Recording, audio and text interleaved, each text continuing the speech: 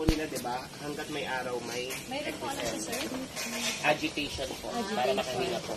Agitate. Kasi buhay po ang spirulina. eh. Parang Ano yung bacteria ba yung spirulina? Hindi ko siya inahalukay. Ah, Bacteria po ano? bacteria po. Bali, ang agit parang oxygen source po. Ang spirulina po na ina-harvest natin, yun nandito lang po sa surface. Mapapansin niyo po itong, itong tubo na to, Yes. connected po yan sa laboratory. So, ang ang spirulina po kasi, yung nasa taas, yun po yung ini-intake natin. Yung nasa baba po niyan, yung nasa floor, ng spirulina. Parang, parang linta na tumatay. Yes, ang ang spirulina po at ang tae niya parehong kulay green. So once na napati yung nasa ilalim, naka, nakuha mo, yun po yung nakakamatay.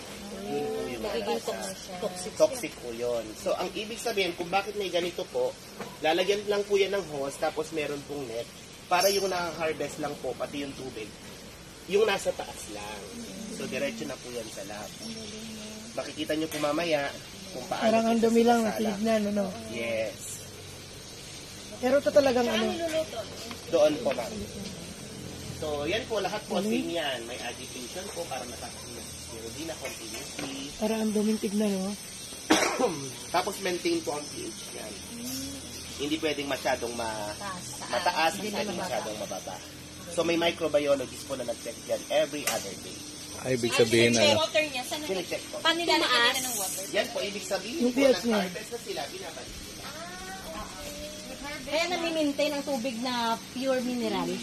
pH So, po. pag tumaas ang pH level, anong ginagawa? Dinadagdagan ng... Ah, i- i- inaayos po noong Anong ginawa yan? Harvest Ina-agitate na po. Natin. para po makakahinga. Oxygenation. So yun, sir, hina-harvest po yun. Yes. So, ibig sabihin, ito po mga pag-harvest niya. Saan na na-harvest? Ayan po. Ako, sinasak na. Napansin niyo po, meron po siyang hose. Ayun po yung net. So, ang hina yan pong mga nasa, pumapasok yan sa hose, yan lang po yung nakaka-harvest. So, yan pong mga nakikita niyo, yan po yung sispirulina na kinakain. Yung nasa baba po, yan po. Yan yan mismo. Yes po. Mamaya po makikita niyo Ay, na-harvest na yan. Yan po yung spirulina, ma'am. Yan na yung spirulina na. Yan na harvest na yan. Kasi yung nasa baba po, hindi mo pwedeng ma-harvest yun. Kasi tae po yun. Yung nasa ibabaw lang. Yung nasa ibabaw lang. Pag na-harvest po kasi mother ang nasa baba, yun po yung toxic. Ayan, talagang na natunayan natin mas makakal Sir, hinihigop na po yan o hindi? Hinihigop po. So yung, yung ito po, ano na yan, tubo na yan, connected po.